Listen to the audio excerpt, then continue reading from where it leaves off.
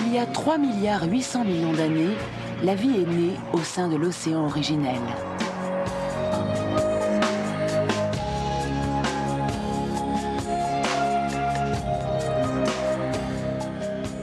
La première forme de la vie, une simple cellule, s'est engagée sur le chemin de l'évolution.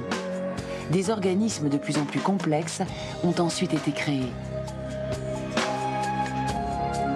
Une longue partie de l'évolution s'est passée dans l'eau.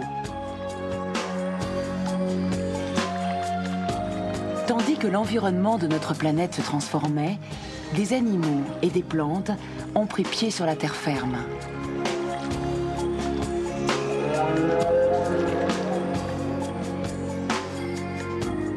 Dans l'histoire de l'évolution, l'homme est une création toute récente, mais cette évolution a suivi un schéma absolument inédit.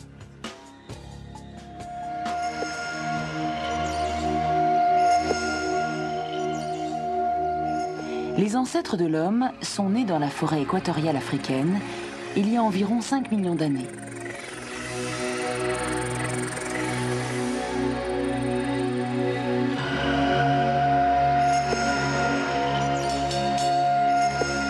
Les premiers êtres de la lignée humaine avaient à peu près les mêmes aptitudes que les singes. Mais ils ont été forcés à vivre dans la savane et leur cerveau s'est développé.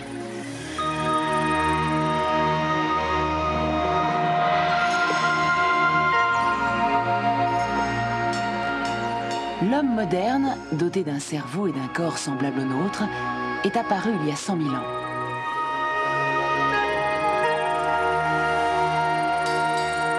L'espèce humaine s'est répandue à partir de l'Afrique vers l'Asie, l'Europe et l'Océanie.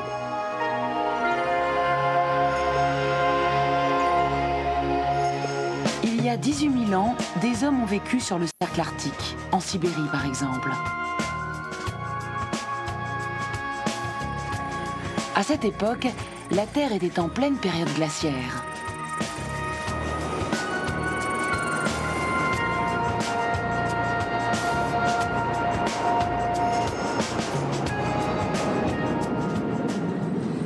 Les hommes étaient montés jusqu'au Grand Nord à travers neiges et glaces.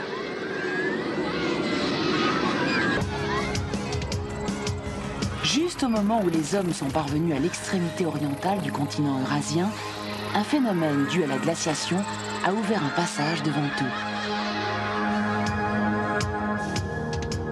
Les glaces avaient figé une quantité d'eau si énorme que le niveau de la mer avait baissé. Entre la Sibérie et l'Alaska, une langue de terre et de glace était à découvert. C'est ainsi que l'homme a pu atteindre le Nouveau Monde, l'Amérique du Nord.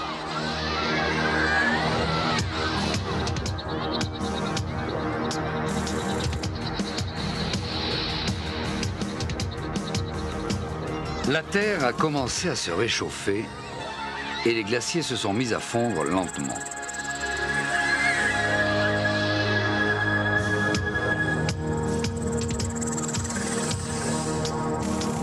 Il y a environ 12 000 ans, la Terre, débarrassée de ses glaces, était couverte de prairies et de forêts.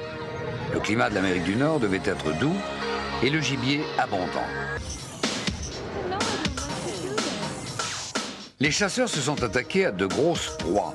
Outre les énormes mammouths, ils ont chassé les bisons et les mégathériums.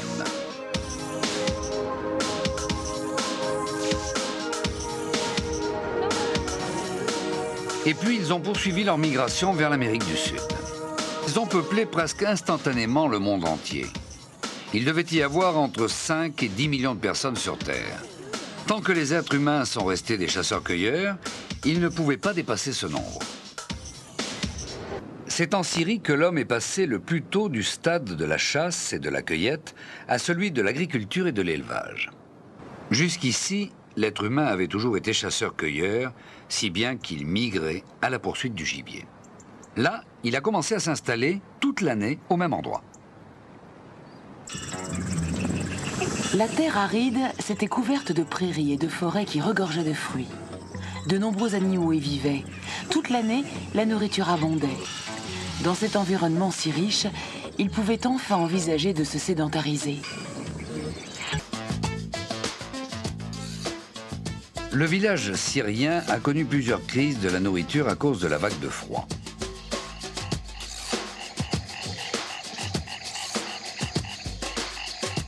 Un jour, ses habitants se sont aperçus qu'une certaine plante, le blé, supportait les baisses de température. Et ils ont eu l'idée de planter ces graines en grand nombre.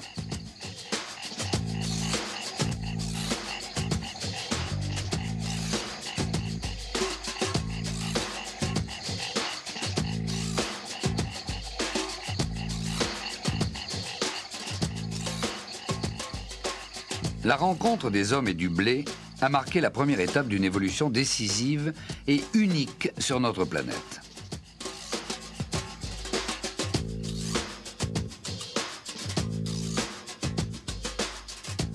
Jusqu'alors, les êtres humains dépendaient entièrement de la nature et de sa générosité. Et voilà qu'ils se mettaient à produire eux-mêmes de quoi se nourrir. L'agriculture a profondément modifié la vie des hommes.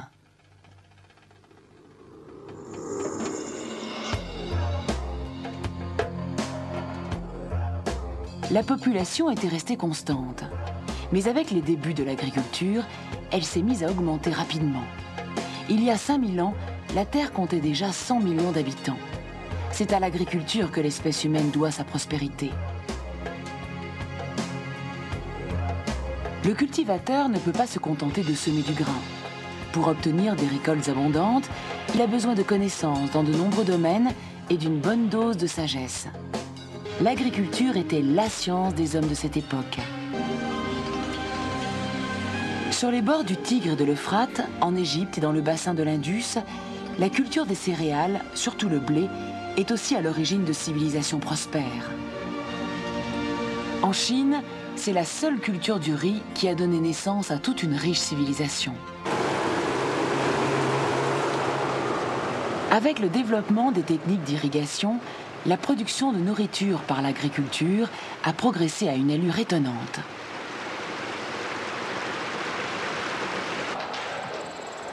L'invention du moulin a été la source d'une profusion de techniques encore utilisées aujourd'hui. La révolution industrielle, qui a commencé dans la deuxième moitié du XVIIIe siècle, a mis en œuvre au départ les techniques de l'hydrodynamique.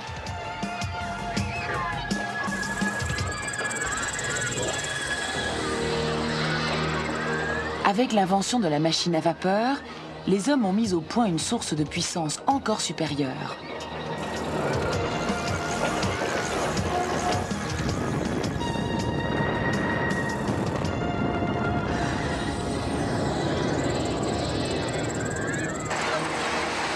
Ils ont bientôt tiré une formidable quantité d'énergie du charbon, du pétrole et des autres ressources naturelles. L'agriculture n'a pas seulement apporté aux hommes de quoi bien se nourrir, elle leur a appris à se servir de l'énergie. L'utilisation de l'énergie est à la base de la civilisation moderne. L'histoire de l'espèce humaine est devenue une histoire de manipulation et de contrôle de l'environnement. La population de la Terre a considérablement augmenté quand l'agriculture s'est développée.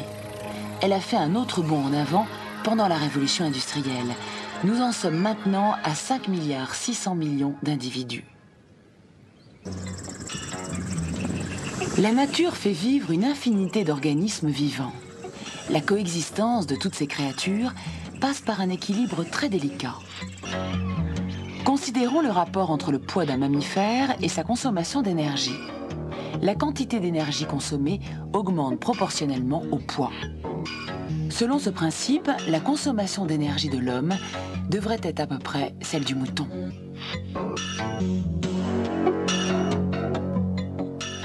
Pourtant, dans notre vie quotidienne, nous utilisons toutes sortes d'énergie, l'électricité et le gaz par exemple. Les habitants des pays industrialisés consomment 40 fois plus d'énergie qu'ils ne devraient le faire en tant que simples membres du monde.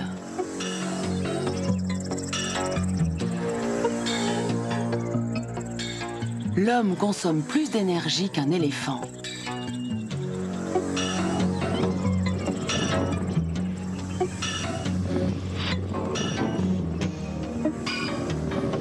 Depuis que l'homme s'est sédentarisé, depuis qu'il a maîtrisé son environnement et vaincu les maladies, son espèce n'a cessé d'augmenter en nombre. La population humaine est 30 fois plus nombreuse qu'elle ne devrait l'être.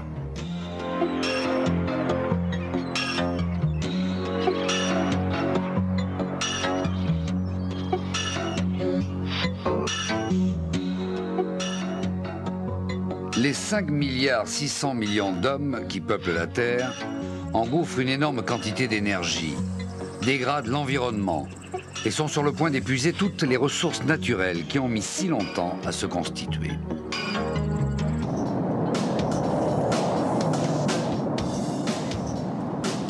L'humanité s'est lancée dans l'espace au XXe siècle.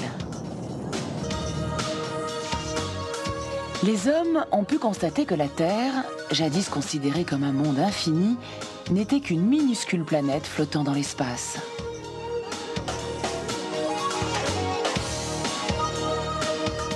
L'aventure spatiale nous a fait comprendre pour la première fois à quel point le système de la vie sur Terre est complexe et interdépendant.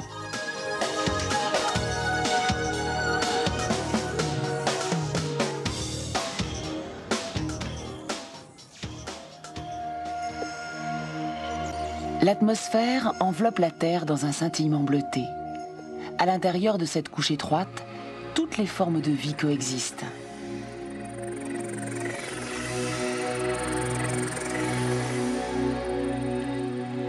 Il y a dix mille ans, l'homme a accompli un progrès immense en cultivant la Terre.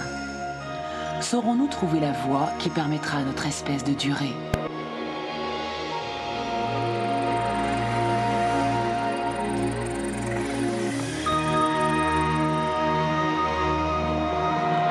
Sommes l'aboutissement de 4 milliards d'années d'histoire de la vie sur Terre. Pour construire un avenir, nous devons étudier notre planète, la comprendre et la respecter.